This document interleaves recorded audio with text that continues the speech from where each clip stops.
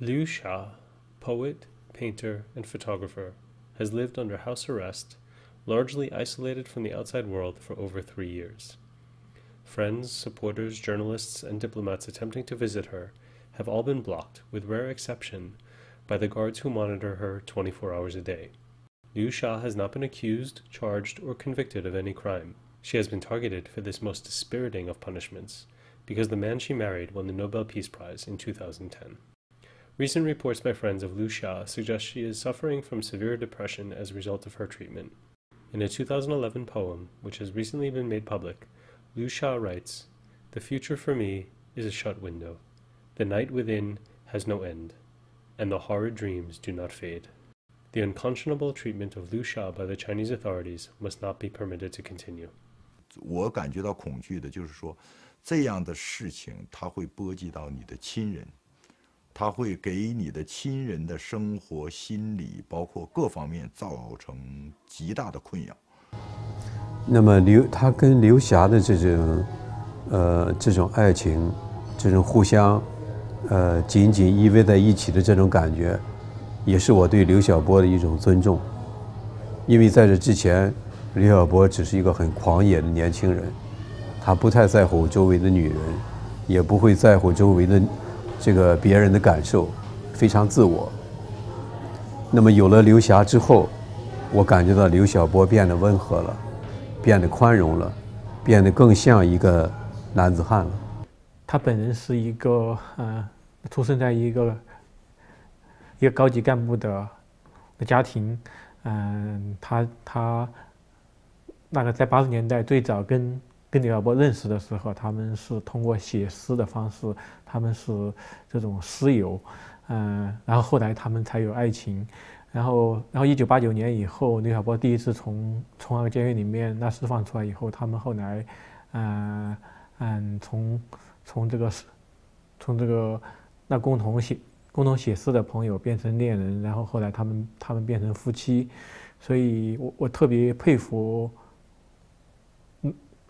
佩服刘霞的是，就是在这么漫长的时间里面，他们他们实际上是过着完全没有个人隐私的生活，在这种。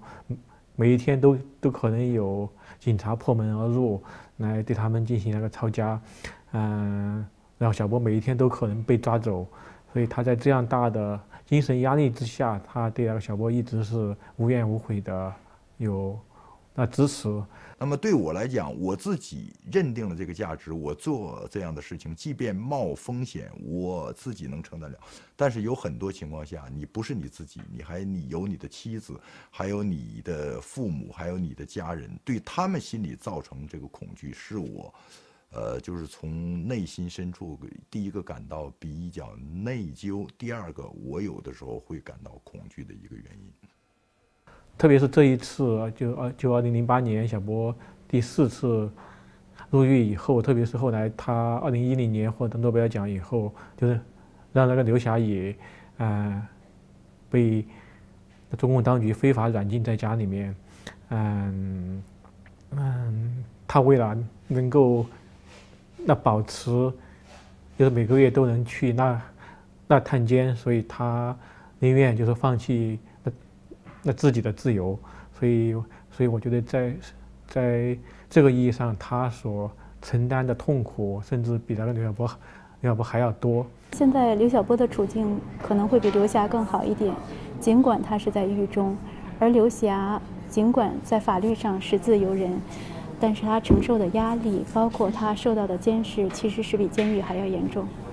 我就是非常幸运呢。现在呢，我这个第二个妻子呢，刘霞呢，她在这这些方面呢，她是一个非常有正义感，也是非常有担当的这么一个女人。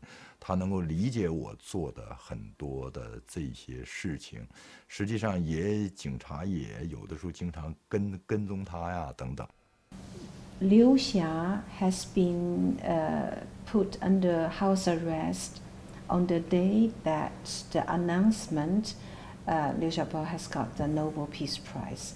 Uh, that was the date, um, October 18, no, October, on October uh, 11 or 12, it was an, the announcement. Liu Xia has been put under house arrest since October 18, 2010, and it's more than two, two years. So she lost her, her freedom uh, since the time. This looks like an ordinary street, but it is where the recipient of the Nobel Peace Prize, Liu Xiaobo, lives. Security here has been very tight, and no journalists have been allowed to go into his apartment to speak to his wife. We're going to try. Over the past few days, dozens of journalists have tried getting in to speak to the Nobel recipient's wife. None have succeeded. Security guards and plainclothes police officers have been at the gate 24 hours a day, using the private property clause to keep us out. So the security people won't let us in, but they said if we can call Liu Xia, the wife of Liu Xiaobo, and get her to pick us up, we can go in. So we're giving it a try right now. Sorry, the number you have dialed is out of service. She, she cannot endure the situation. Sometimes, really, we are so we are we are so worried that she she will really break down. 我最后一次和刘霞通电话是在诺贝尔和平奖2010年公开的那一天，就是在和平奖呃公开就是宣布的前半个小时之内。 然后打电话给他，他告诉我他身边有九八九个警察，就是在他的家里。他说我的电话可能很快就会断了。然后我说你想过没有，李小波可能获得这个奖。然后他说 不管怎么样，我我都会一会一直的支持他。呃，然后就是十二月十号，十二月十号，因为获宣布获奖是十月八号。十二月十号，我到奥斯陆去参加了这个他的颁奖仪式。在颁奖仪式上，是由一位非常著名的演员去朗诵，呃，刘晓波的《我没有敌人》，其中就提到了，呃，他和他妻子这样的一些感情的故事，呃，可以说是不仅是感动了我，我想是感动了全世界。But my love is solid and sharp. capable of piercing through any obstacle, even if I were crushed into powder, I would still use my ashes to embrace you. 那么通过他的诗，呃，我认为能够能够表达出他们生活的处境，这种处境一般的人是没有办法体会到的，每天被监视着。 你感觉到每你的每一个动作、每一个举止，都有别人在被被观察着，这是非常痛苦的。因为生活如果没有隐私的话，严格的讲，这根本不是生活，也没有什么尊严。刘霞和这个刘晓波的结合，我想对对于很多年轻人，对于人生就是一个阶段一个阶段过来的人，都会有很多启发。Liu Xia never dreamed she'd be under house arrest for more than two years by Chinese authorities, but that has become her reality after her jailed husband, Liu Xiaobo, was awarded the Nobel Peace Prize in 2010. She trembled and cried as she described her painfully surreal ordeal in her first interview since being detained.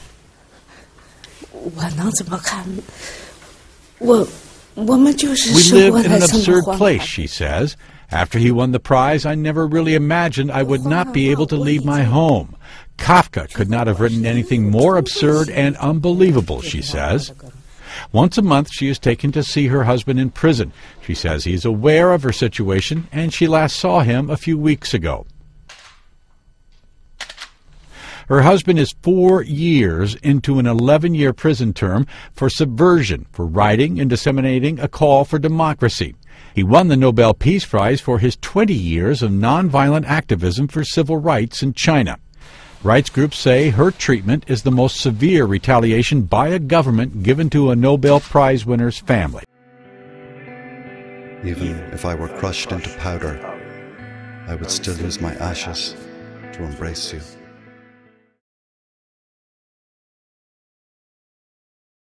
Help protect human rights defenders on the front line. Contribute at www.frontlinedefenders.org slash donate. Thank you.